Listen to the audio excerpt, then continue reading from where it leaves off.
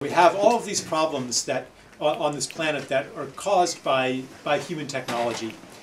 And so the solution, of course, is more technology to solve the problems caused by previous technology. So we have climate change, well, you know, let's put big mirrors in space, or let's seed the ocean with iron uh, to absorb carbon, or let's um, you know, do something to the clouds, you know, and, and, and thinking that, that this won't have unintended consequences and that we can continue using the same tools and the same mindset, the same kind of instrumentalist mindset of, of technology and get somehow different results. Um, and I think that a lot of people are, are seeing the bankruptcy of that way of approaching our problems. Uh, that you know we're understanding that that if we use the same means toward different goals, we're actually going to end up with more of the same, as, as Einstein pointed out. Um, yeah, it's, it's rather insane to keep doing the same thing and expect different results.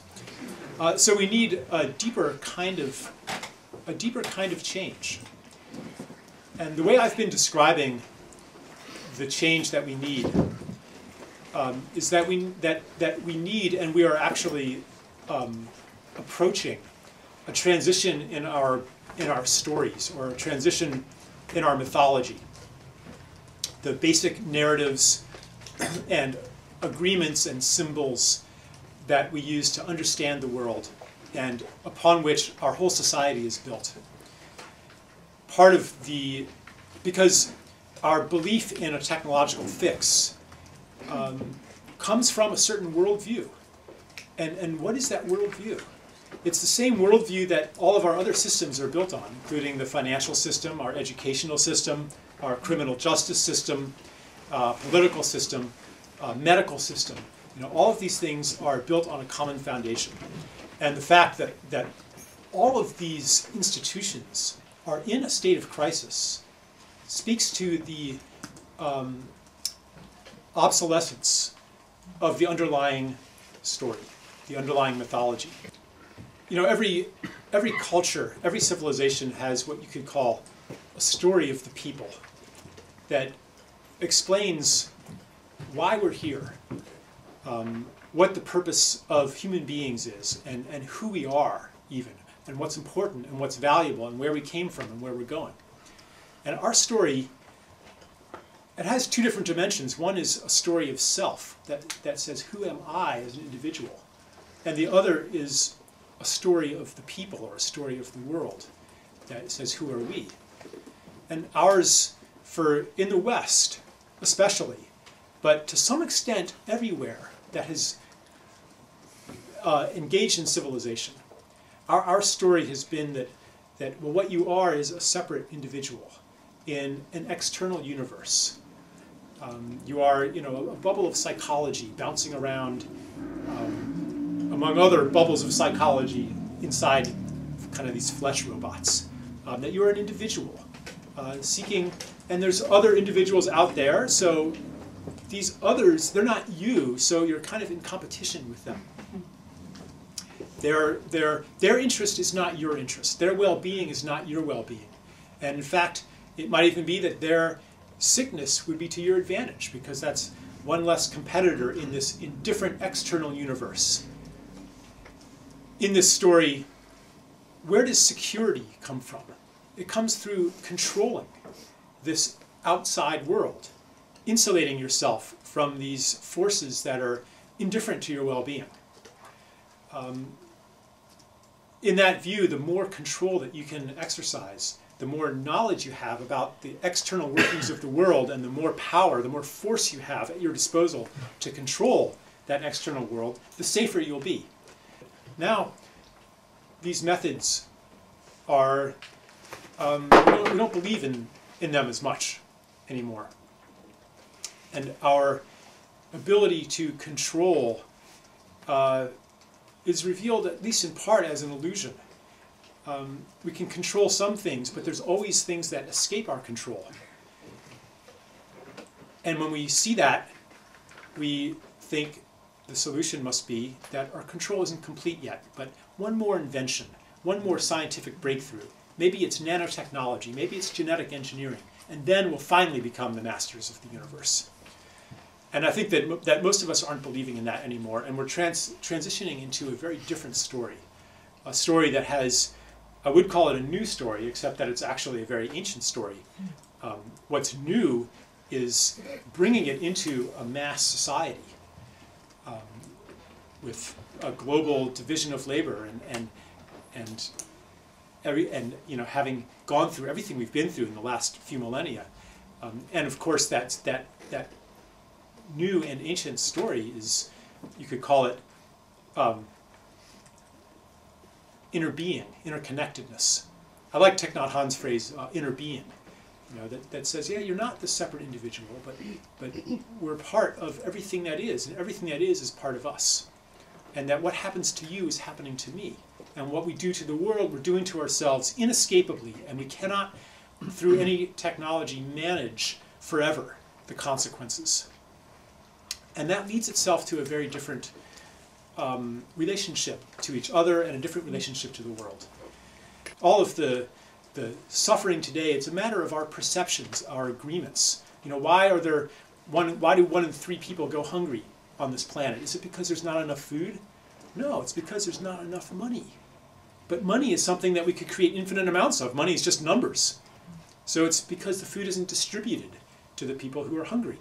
Uh, or their ability to produce food has been destroyed by various forms of cultural and economic imperialism but we don't have, we have no fundamental scarcity. Uh, if we didn't devote huge amounts of our time and energy and, and wealth toward creating armaments, you know, I mean, that's not something that's really necessary for human well-being either. So, so you know, it's a matter of, of changing our perceptions or changing our story.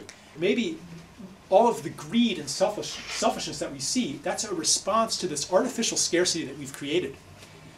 Maybe our true nature is that we are put onto this planet having received tremendous gifts the gift of life, the gift of breath, the gift of the sun, of the water, and having been so richly gifted, we desire to give in turn. Maybe that's human nature. Maybe it's, it's that the things that we think we want aren't what we really want. And the, all of the consumption that we engage in is, is a substitute for the lost connections of our interbeing selves. First of all, I would like to um, respond to uh, your idea uh, that we are interbeings. And I would like to start uh, responding to that with a story of the Buddha. One day, Buddha is uh, sitting next to a pond. It's a lotus pond. And in a moment's inspiration, he picks up a lotus in his hand and holds it and holds it and holds it. And there are disciples sitting in front and they are watching the Buddha holding the flower. They think, why Buddha is holding this flower today? What, what is happening to him? And after a few moments, one of the disciples called Ananda, who is one of the chief disciples, very good memory, uh, he smiles at the Buddha. And when that shine from the eyes of Ananda comes across to Buddha, he smiles back. So there's a tremendous. When I came here, I saw lots of smiles in this room. And I said to Charles, there are so many smiling faces. so you are getting it. so Ananda smiled and Buddha smiled.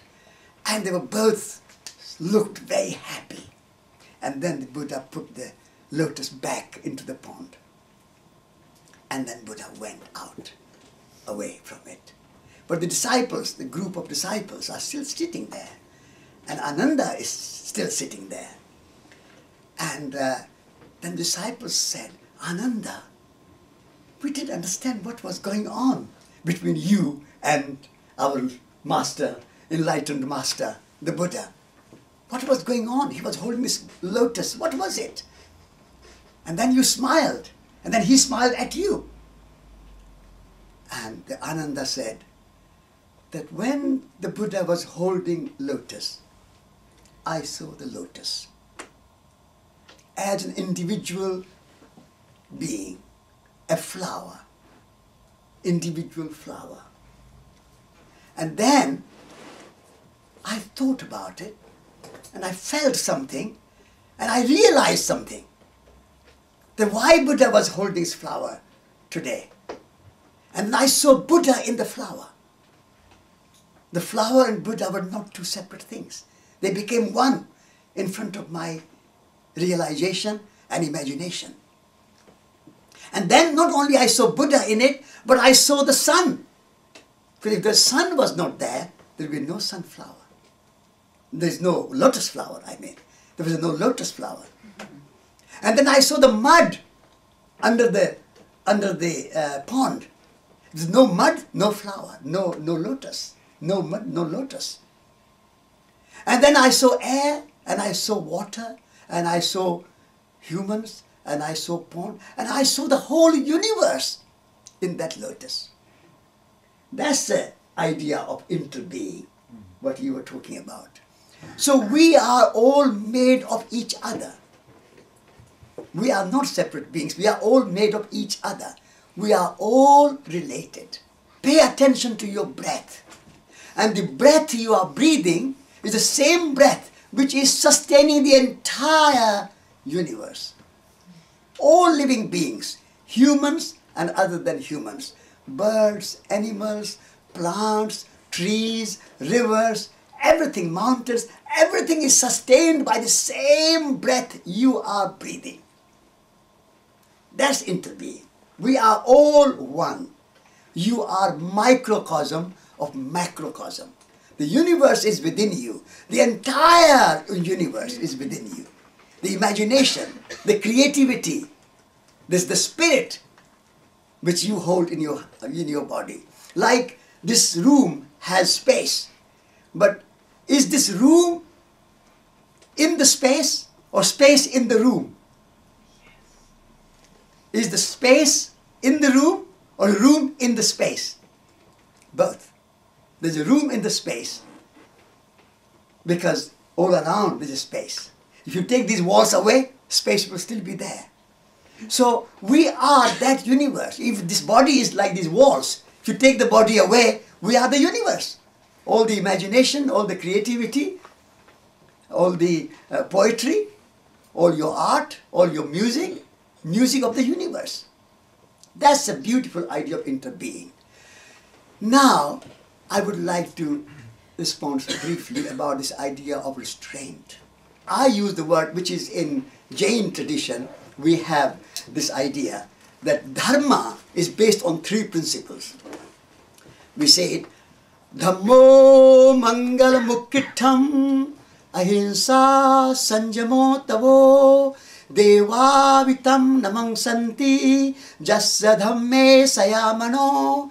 That's a uh, Sanskrit Jain uh, text. What it says, the highest, highest way of being, the greatest way of being is practicing dharma.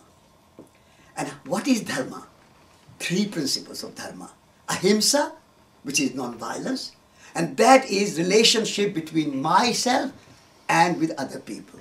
Should be relationship or doing no harm. If, if my action is doing harm to any other person, my words hurting somebody, I must not speak those words. That's not non-violence. If my action is hurting trees, I must not act that. I, if I, my action is hurting mosquitoes, even snakes, even wild animals, I must not do that. Ahimsa, non-violence, that's one principle. Sanjamo is restraint. You take what is your need. The vital needs, celebrate, but not take so much that other people do not have. Hmm. take only what is your need. Are other people that tena tektena bhunjita.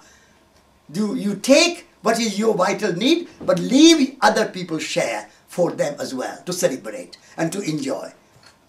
And tavo is tapas. That means practice something to reduce your needs and increase your spiritual needs. So there is no limit, no restraint how much music you want to play, how much poetry you want to write, how much dance you want to dance, how much love you want to express, how much friendship you want to do, how much you want to walk in nature, how many flowers you want to plant. There is no restraint there. Every season, every year, new car model. That's not restraint. Every new year, there's a new uh, mobile phone. That's not restraint. Every year, there's a new, uh, new model of computers. That's not restraint. How many resources we are consuming in the name of this new, new, new models? So we have to have restraint. I'll buy a computer which will last for 10 years. 10 years. A mobile phone, 15 years. Why not? Produce something which will last. When you are consuming material things, physical things, you have a limit. This body has a limit and how much this body can take even though the dinner table laid with all the cheeses and wines and food and drinks everything. But you take when you feel full. And my mother would say eat even 90% of your hunger and not 100% 10% so when you leave your dining table or your dinner table you still feel that i can still eat a little bit but i will not eat. And that will keep you healthy. Otherwise obesity in the united states obesity in England, obesity in Europe, with no restraint. So restraint, frugality, simplicity, but elegance. We want elegant simplicity, not drab, not dull, not boring simplicity, but elegant simplicity, beautiful simplicity. This jacket I'm wearing, handmade, hand spun, hand woven, khadi, I've been wearing for 10 years, still lasting me. I don't need to buy every season a new fashion, this uh, what called catwalk, and go there and find, find what is the latest jacket. I don't need it. It's a lovely jacket, keeps me warm, and why not? So make things beautiful, make things lovely, make things enjoyable, but don't have too much. Even the too much of good thing is not good. I think we have to be courageous and bold and embrace some of these old words and put new meaning, ecological and holistic meaning, and take in that way. When people really pay attention, like say with sugar, you know, if you really pay attention to how it tastes, how it makes you feel, um, you'll find that it didn't taste as good as you thought it did when you weren't paying attention. So maybe there's a, another path towards something that looks exactly like restraint. Maybe if you decide to really maximize your pleasure and really take that seriously, you'll discover that that there are pleasures that you hadn't even noticed before. Um, and, and, to me, you know, our, so much of our of our civilization is based on control that I'm, I'm a little bit wary of any prescription that involves applying that control to, to myself. I'm always looking for a way, and I might be a bit dogmatic about this, um, uh, but I'm always looking for a way to um, to come to the same place through more self-trust, more allowing. How do you bring that into the culture like you said, is that what I really want? Is that really my pleasure? How do you bring that unless you have some notion of limit?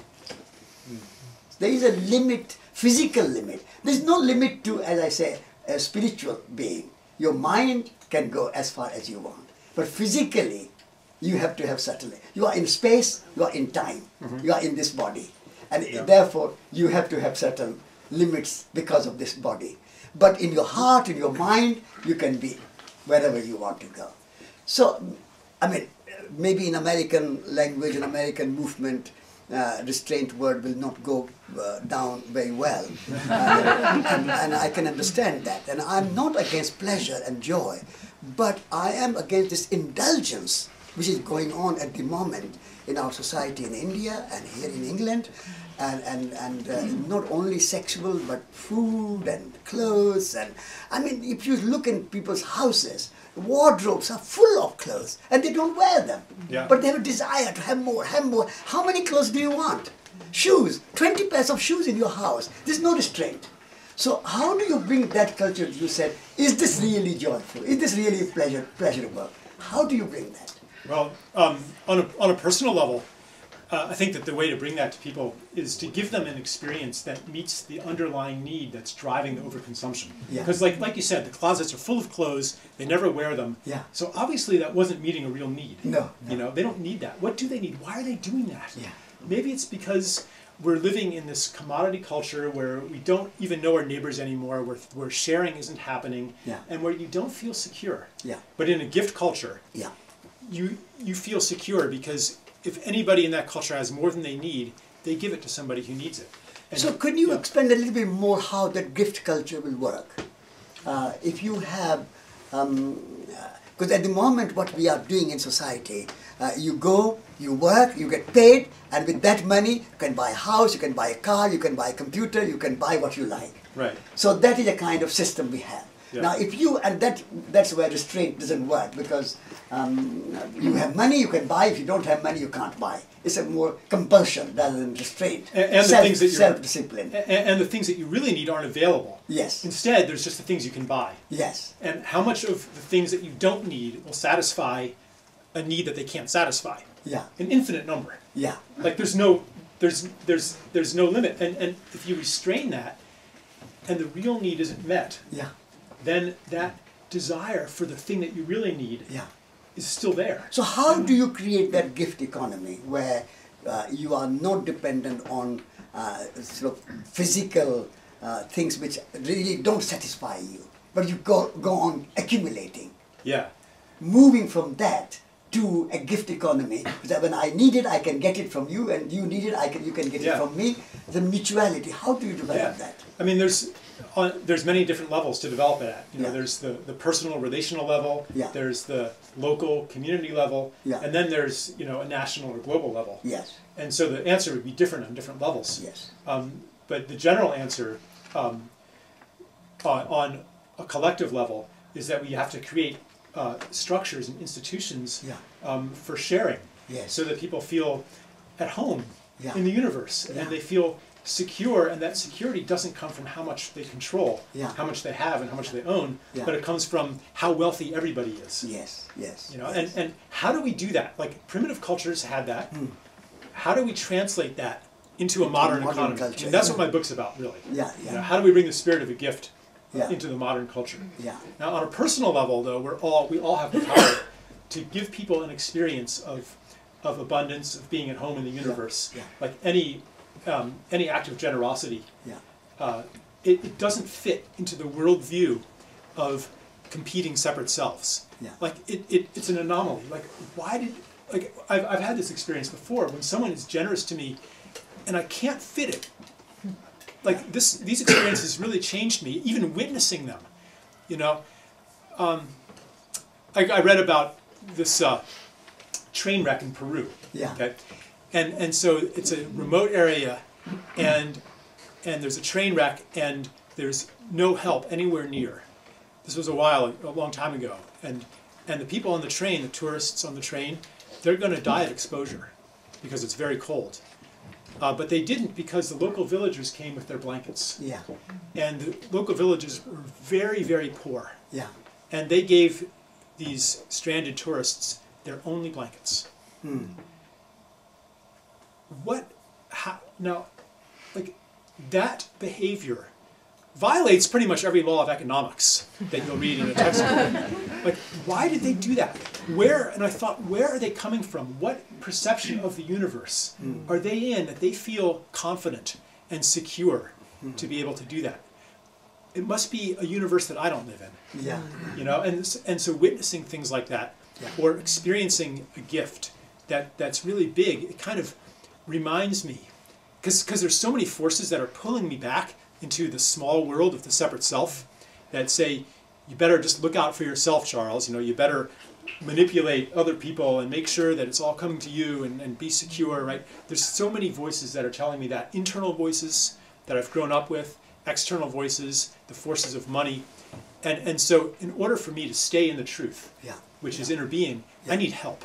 Yeah, but one reason that we uh, don't have gift economy and the gift economy doesn't quite work because our societies have become too big. We have to change this urban uh, mass society uh, to more manageable Yeah. human scale communities where people know each other and they can support each other. Yeah. They can give gift to each other.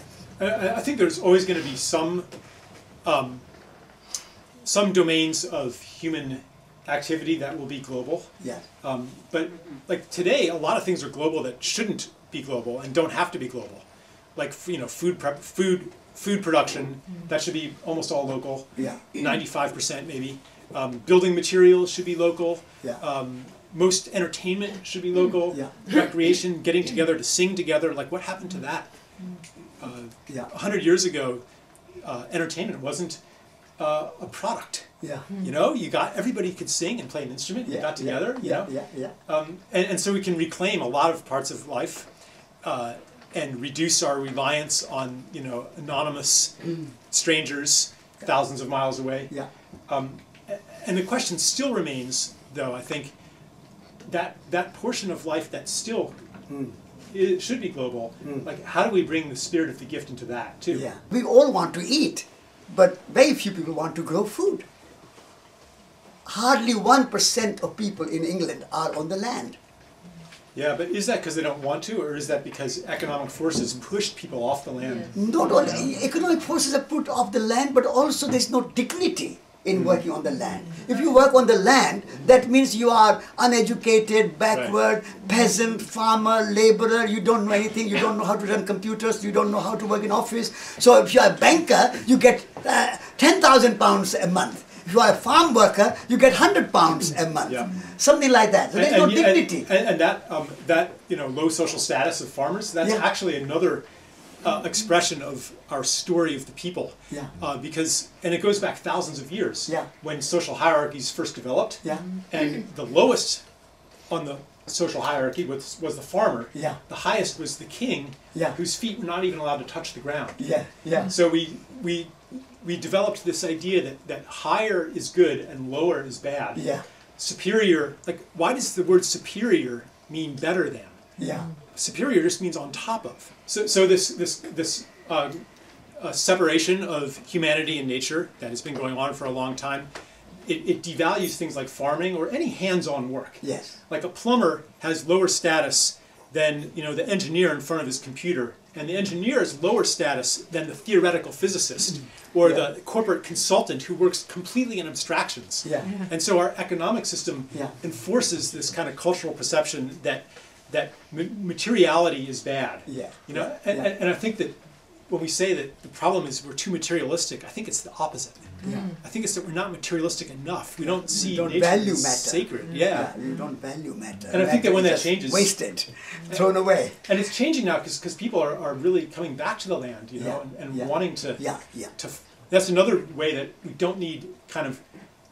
And I, I, I would like to use the word sacrifice more consciously, but that it's not um, a lowering of our quality of life uh, to live in a more sustainable way. Like people, when they go start gardening, their quality of life improves. Improves, yeah.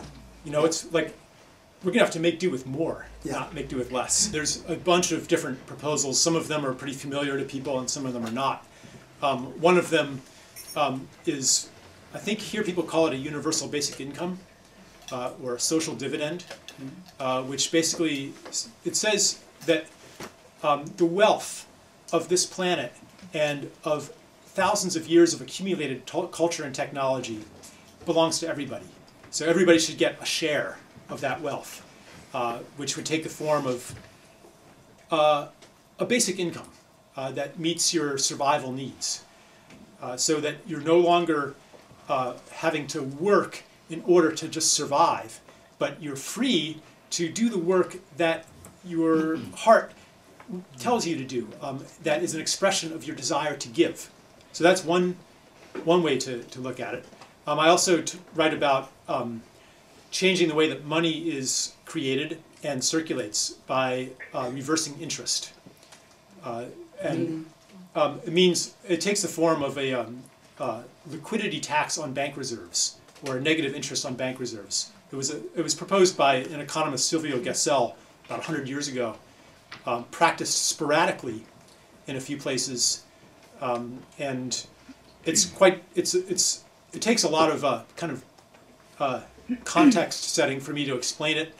Um, and economically oriented people will think, well, wouldn't that cause overconsumption or wouldn't that cause inflation? And um, you know, how would capital accumulation work? And, and there's a lot of you know details to work out, but essentially that um, induces more of a spirit of the gift because it makes money like everything else in the universe that it uh, decays and returns to its source. So if you hold on to it, you don't get richer and richer and richer the more you have, but it it would be like like wealth if it took the form of, of, of bread, and I have a hundred loaves of bread, and I, and maybe I'm a greedy bastard and I want to stay rich, but but if I keep all hundred loaves, they're going to go stale and will be worthless. So purely out of selfishness, it's to my advantage to give everybody here a loaf of bread, and then and I'll say, when I'm hungry, I'll ask you for a loaf of bread. Yeah. And and so and so, why is it money like that? Hey, I've got more money than I need. Here, everybody, here, have a hundred quid, right? Why don't I do that? Please. Money's not like bread; it doesn't decay. Yeah. So that's another Should decay, proposal, yeah. and there's there's a bunch of others Yeah. that It's that very good. Yeah, you should read the book.